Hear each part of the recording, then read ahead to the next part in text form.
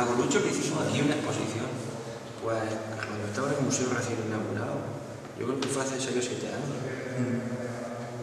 Y entonces todo lo nuevo que hay ahora es todo lo que ha pintado pues, de nuestros últimos 5 o 6 años. Este hombre pintaba dos o tres cuadros al año,